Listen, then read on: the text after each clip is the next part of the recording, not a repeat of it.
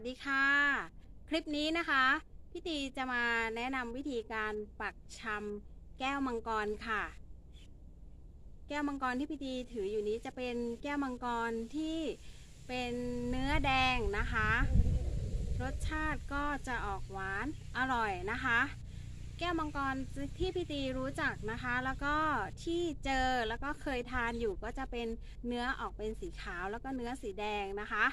วันนี้พี่ตีจะ มาทำการปักชำเนื้อสีแดงนะคะ ซึ่งพี่ตีได้พันมาจากที่สวนของคุณอานะคะ ซึ่งอาทิตย์ที่ผ่านมาพี่ตีได้ไปเที่ยวที่สวนคุณอา แล้วก็ได้ทานลูกสดๆเลยนะคะ ของแก้วมังกรนะคะ รสชาติอร่อยแล้วก็ติดใจมากๆพี่ตีก็เลยอขอกิ่งพันธุ์มานะคะ กิ่งพันธุ์ของแก้วมังกรที่เลือกมานี้นะคะ พี่ตีเลือกเอากิ่งที่แก่นะคะ แล้วก็พร้อมที่จะ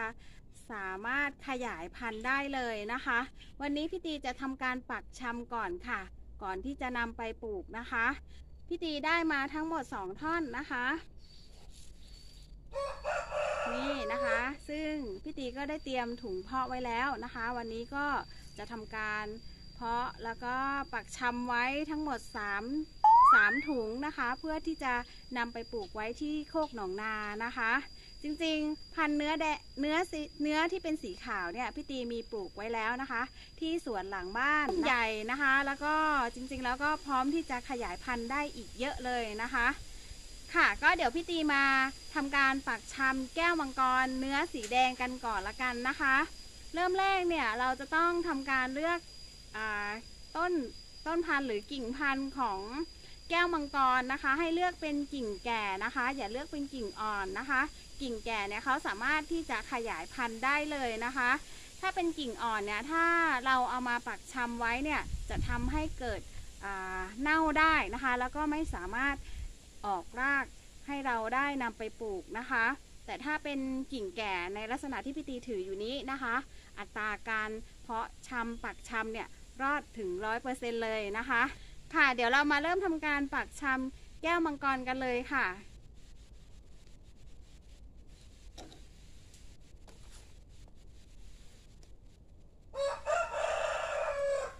แก้วมังกรที่ได้มานะคะ พี่ตี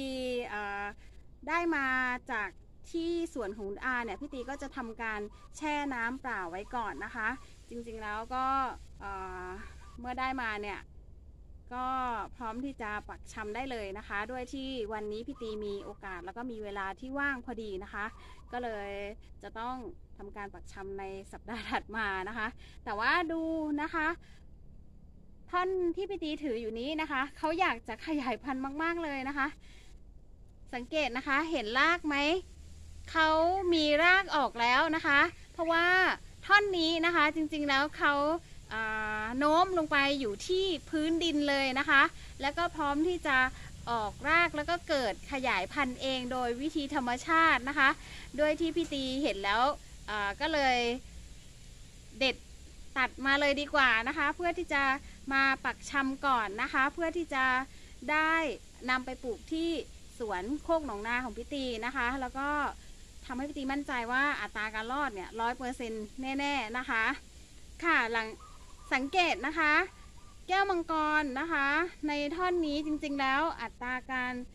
นำไปปักชำเนี่ยสามารถปักชำได้หลาย ๆ ท่อนเลยนะคะ แต่ต้นแต่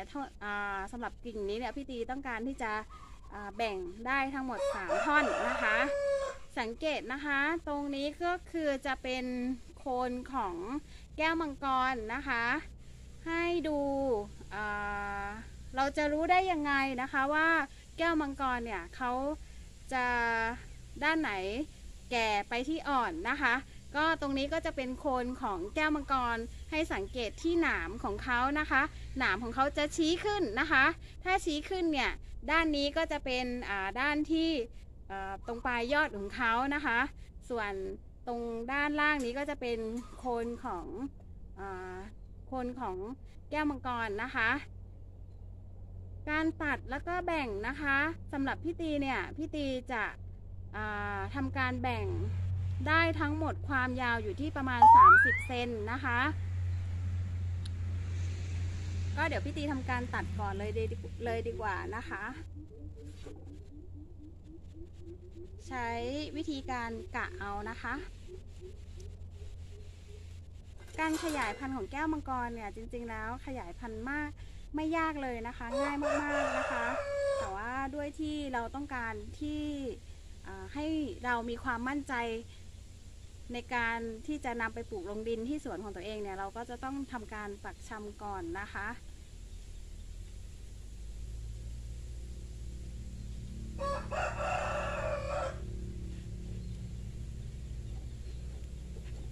แก้วมังกรเนี่ยเขาจะเป็นพืชตระกูลเดียวกับกระบองเพชรนะคะ เพราะฉะนั้น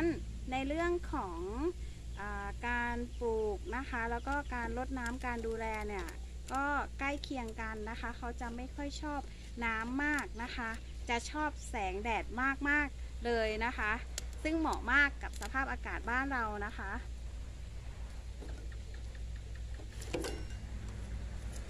นี่นะคะพี่ตีก็จะแบ่งทั้งหมด อ่าเป็น3ส่วนนะคะ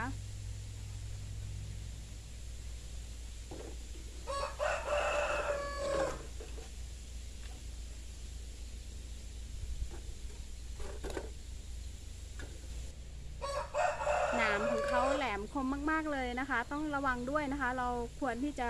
สวมถุงมือป้องกันด้วยนะคะ โดนทิ่มนี่ก็คือเจ็บ เจ็บไม่แพ้กันเลยนะคะ ค่ะหลังจากนั้นนะคะพี่ตีก็จะต้องทำการเตรียมน้ำยาเร่งรากก่อนนะคะ น้ำยาเร่งรากนะคะ วันนี้พี่ตีจะใช้สูตรง่ายๆนะคะ ก็น้ำเปล่านะคะ ที่พี่ตีเตรียมเนี่ยก็อยู่ที่ประมาณ 500 กรัมนะคะ เตรียมไว้อยู่ที่ 500 กรัมนะคะ แล้วก็ตัวนี้นะคะก็จะเป็นเครื่องดื่มชูกำลังค่ะ ซึ่งจะเป็นยี่ห้ออะไรก็ได้นะคะ แล้วก็จะมีกะปินะคะ ที่มีอยู่ในครัวอยู่แล้วนะคะ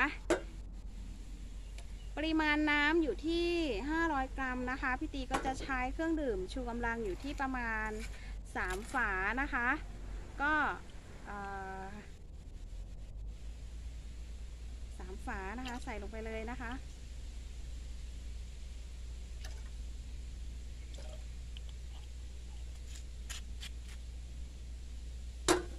ใส่ลงไปแล้วนะคะ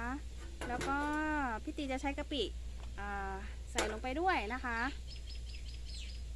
ใส่กะปิลงไปนิดนึงนะคะ ไม่ต้องเยอะ แค่นี้นะคะ ปลายช้อนนะคะค่ะ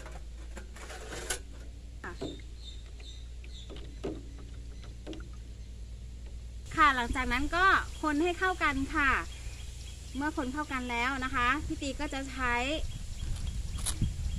จะใช้แก้วมังกรค่ะ มาทำการแช่ แช่ สูตรนี้คือเป็นสูตรน้ำยาเร่งรากนะคะ แช่ไว้ก่อนนะคะ ประมาณ 15 นาทีค่ะ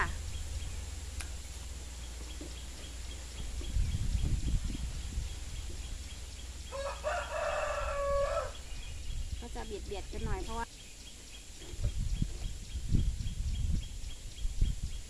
ค่ะ หลังจากนั้นนะคะพี่ตีก็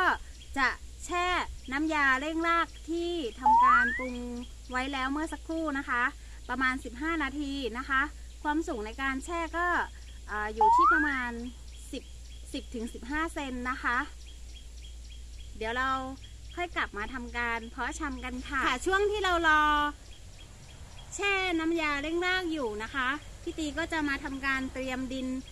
เพาะชำไว้ก่อนดีกว่านะคะ สูตรในการใช้นะคะ ดินที่พี่ตีใช้ในการเพาะชำนะคะ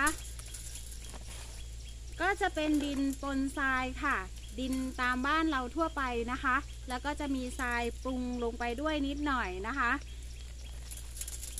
พี่ตีก็จะใส่ไว้ปริมาณครึ่งถุงนะคะ ซึ่งพี่ตีก็เตรียมไว้ทั้งหมด 6 ถุงนะคะ วันนี้ก็จะทำการเพาะชำไว้ทั้งหมด 6 ถุงนะคะ แล้วก็จะมีเตรียมไม้เสาหลักด้วยนะคะ เพราะว่าจะต้องเป็นตัวช่วยค้ำยันนะคะ ค่ะหลังจากที่ครบกำหนด 15 นาทีแล้วนะคะ เรามาทำการปักชำกันเลยดีกว่านะคะ พี่ตีจะเริ่มทำทีละถุงเนาะ การปักชำนะคะ หลังจากที่เราเตรียมถุงเพาะชำไว้เรียบร้อยแล้วนะคะ ก็จะเริ่มทำการปักชำได้เลยนะคะ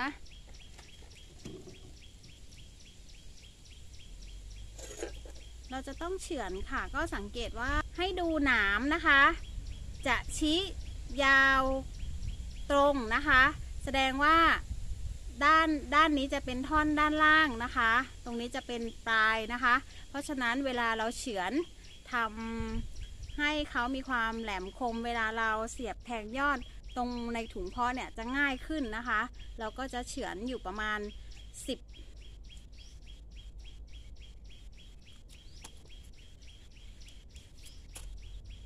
ค่ะเราจะต้องเฉือนอยู่ที่ประมาณ 45 องศานะคะ ความยาวนะคะ ระยะจากตรงนี้มาถึงตรงนี้ประมาณ 10 เซน10ถึง15 เซนได้นะคะ หลังจากนั้นนะคะพี่ตีก็จะทำการปักชำลงไปเลยค่ะ ถุงมือนะคะควรจะมีนะคะ เพราะว่า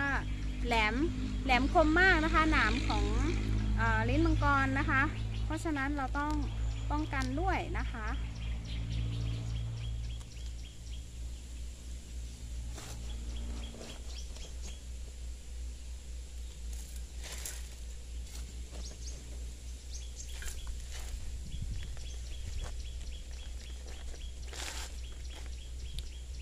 โคนต้นระยะของโคนต้นที่เราปักชำลงไปในดินนะคะ จะอยู่ที่ประมาณ 10-15 เซนหรือ 20 เซนก็ได้นะคะ สามารถใช้ได้นะคะ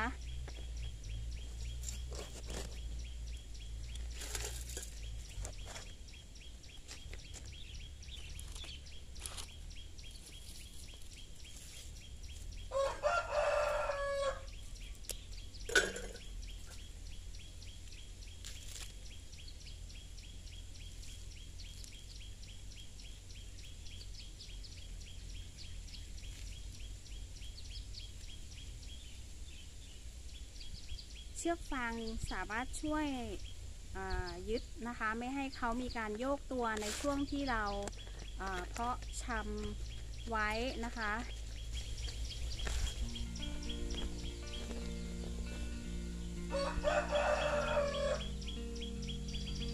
ค่ะเสร็จเรียบร้อยแล้วนะคะพี่ตีได้ทำการปักชำทั้งหมด 6 ถุงนะคะ ซึ่งหลังจากนั้นนะคะ เราก็ ทำการลดน้ำนะคะ การลดน้ำนะคะ ไม่ควรที่จะลดน้ำบ่อยมากจนเกินไปนะคะ 2-3 วันค่อยลดครั้งหนึ่งนะคะ จนกว่าจะครบ 2 เดือนนะคะ เราค่อยนำไปปลูกลงในกระถางหรือลงในดินได้นะคะ ที่สำคัญช่วงระยะเวลาที่เราปักชำอยู่นะคะ ต้นลิ้นมังกรนะคะ ควรที่จะนำไปตั้งในบริเวณที่เป็นร่มนะคะ หรือไม่ก็โดนแค่แสง แดดลำไรแค่นั้นนะคะ เพราะว่าเขาจะต้องออยู่ในช่วงที่จะต้องมีการออกรากนะคะค่ะสำหรับคลิปนี้นะคะ หวังว่าคงจะเป็นประโยชน์ให้กับน้องๆเพื่อนๆที่เข้ามาดูนะคะสำหรับใครที่กำลังต้องการที่จะทำการปักชำ ต้นลิ้นมังกรนะคะ เพื่อที่จะนำไปปลูกในสวนของตัวเองหรือว่าเพื่อที่จะขยายพันธุ์เพื่อจำหน่ายนะคะ สูตรนี้นะคะพี่ตีเคยทำแล้วนะคะได้ผลนะคะ แล้วก็วันนี้พี่ตีก็ได้โอกาสแล้วก็ได้มาทำวิธีการปักชำในเคล็ดลับของตัวเองนะคะ ให้เพื่อนๆน้องๆได้นำไปปรับใช้นะคะ วังว่าคงจะเป็นประโยชน์นะคะ ค่ะสำหรับใครที่เข้ามาใหม่นะคะพี่ตีก็ฝากให้กดติดตามค่ะ กดกระดิ่งเพื่อแจ้งเตือนนะคะ เพื่อที่จะได้ไม่พลาดคลิปวิดีโอที่พี่ตีจะอัปโหลดให้ดูอยู่เรื่อยๆ ขอบคุณมากนะคะที่ติดตามกันค่ะ แล้วเจอกันใหม่ในคลิปวิดีโอต่อๆไปนะคะ สวัสดีค่ะ